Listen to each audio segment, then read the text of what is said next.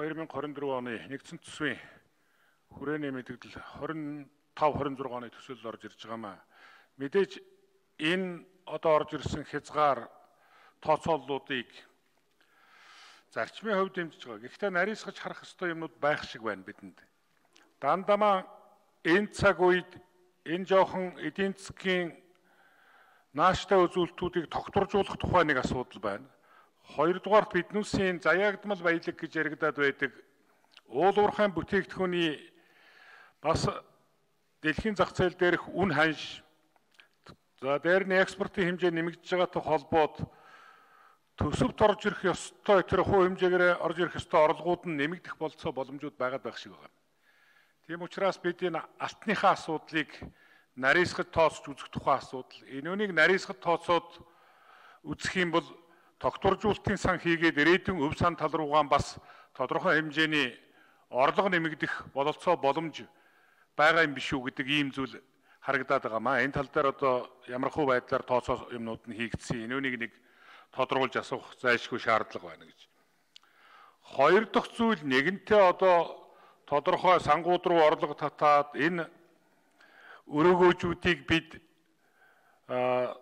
эдийн засгийн тэлэх баялаг бүтээгчдийн дэмжих үйл ажиллагаа руу бас чиглүүлдэг энэ бодлогын чиглэл юмнуудаа их тодорхой болгох ёстой. Тийм учраас би энэ баялаг бүтээгчдийг дэмжих хөрөнгийн их усвар талаан энэ төсвийн хүрээний мэдэгдэл төсөөлөлдөө ер нь ямархуу байдлаар анзаарч орволбаа гэдэг асуудал байна.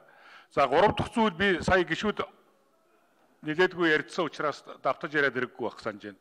Цалин хөлс, тэтгэвэр тэтгэмж, хүүхдийн мөнгө энэ үн ханштай холбоотой юмнуудыг бол тов тодорхой бас холбогдох арга хэмжээнүүдийг нь авч хэрэгжүүлье. 2023 оныхон төсвийн зардал тал 24 оныхон төсвийн зардал талд анхаарсан хүрээнийхээ мэдэгдэл хязгаар дотор бас бодлогын авч хэрэгжүүлэх арга хэмжээ түүнд чиглэгдэх хөрөнгийн хэмжээ юм анзаарсан гэдэг ийм байдлаар бол би сая энэ мэдээлэл юмнуудаас нь ойлгогдсон гэж одоо бидэнд энэ нэгдсэн төсвийн тэнцлийн асуудал байгаад байгаамаа. Тэгэхээр зэрэг ерөөсөө тэнцлийг бид ямар хэмжээний алдагдaltaй гаргана тэр хэмжээгээр бид гадаад их усүр ашиглах тухай асуудал яригдана. Буцаагаад өрийн асуудал яригдана. Тийм учраас Монгол улсын засгийн газар маань 23 оны төсвөө батлуулах гэж оруулж ирэхдээ төсвийн хүрээний мэдэгдэл заагдсан хувь хэмжээнээс доош алдагдлын тухай оруулж ирээд их хурал дээр бас түүнийг бууруулах чиглэлээр бас тодорхой арга хэмжээ аваад 1.4 их найдын алдагдaltaй төсөв биднээс 23 оны төсөв баталсан. Тэгэхээр 24 оны төсвийг бол ер нь бит хэмжээгээр нь энэ 23 оны батлагдсан төсвийн алдагдлаас л доош баталж байж бид энэ улсын өрийг нэмэгдүүлэхгүй байх энэ төсөв эдийн засгийнх нь зөв бодлого эрүүлжүүлэлтийн арга хэмжээг авч хэрэгжүүлнэ гэж ингэж хараад байгаа. Энэ тал дээр одоо ямархуу байдлаар одоо тооцоолол судалгаануудыг хийж байна вэ гэж. За дээр нь засгийн газрын гадаад өрийн тухай асуудал байгаамаа.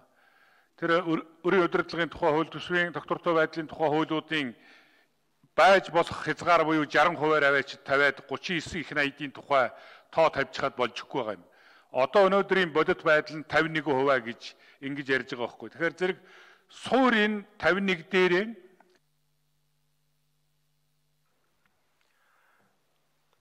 За одоо 18 гишүүн асуулт асуухаар байна. Дараачд нь бас үг хэлэх цаг байгаа.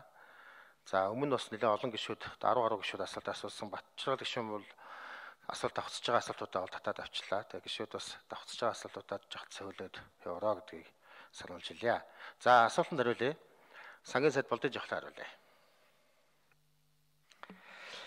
За очрол гişүүний асуултанд хариулъя. За ер нь санаа зовж байгаа асуудалтай бол санал нийлж байна.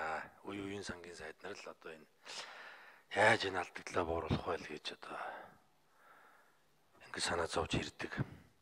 За бид ямар ч байсан хязгаараа ингээд тусгай шаардлагын дагуу бариад ороод ирж байгаа. 2.8% буюу 1.8 их найд. За та их сайн санаж байна. Одоо ажлын хэсэгт ажиллаж байсан учраас 23 оны хийг бол бид аль болох мөн одоо яг төсвөө төсвөлөгтөө батлахтаа байж болох хэмжээний хуулийн хэмжээнээс нь бол багасгаад ороод ирсэн. За энэ бол яа харахгүй мөчлөгс өрсөн бидний засгийн газрын бодлого байсан. Их хурл маань ч одоо энэ дэрийг сайн ажиллаж ийм төсөв баталсан байна. За тийм учраас эх оны төсвөө намар бариад ороод ирэхэд хэдүүлээ задлж байгаа л энэ дээр ярилцъя дахиад. А боломжит хуулийн хязгаар маань бол энэ байгаа. Хязгаар тоо бол юм байна. Хэл юм байна гэсэн үг одоо энэ хэлийг бол бид нар давж чадахгүй. А гэхдээ нэг ийм зүйл байгаа. За бид одоо зардал 2.4 их нээдээр нэмэгдэх хязгаар байгаа юм. Хязгаар. За гэтэл хуулийн дагуу шүү. Хуулийн дагуу одоо төрийн үйлчлэгээнүүдийг нэмэгдэж байгаа бодит зардлын доод хэмжээ маань 3.4 их нээт. 3.4 их нээт. Цаана дахиад бид нар 900 тэрбумын зардлаа одоо яаж шингээх вэ гэдэг ийм даалгавартай бид нар ажиллаж байгаа. Тэгэхээр эх жилийн хувьд одоо төсвөө хэрхэн төсвөлж орж ирэх үү? За тэрийг тэгээ яаж шингээх үү гэдэг бол одоо маш том бас их сорилт болж ирж байна. За бидэнд төсөө өргөн барих хүртэл одоо бас хугацаа байна.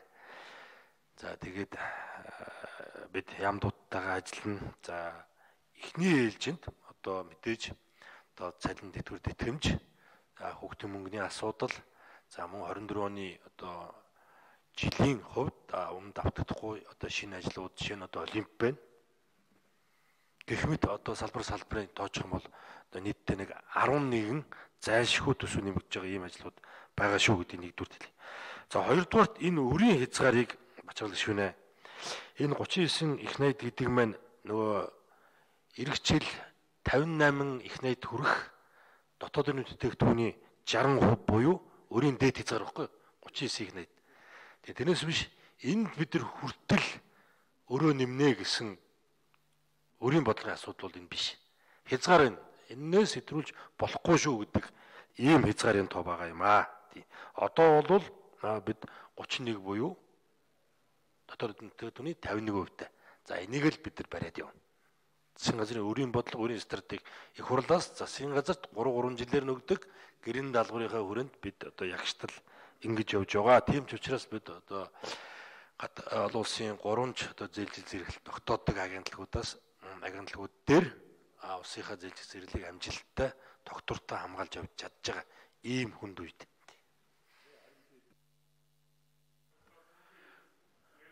За бүх чулууны бүрд орж гişүүн асуултаа асууя.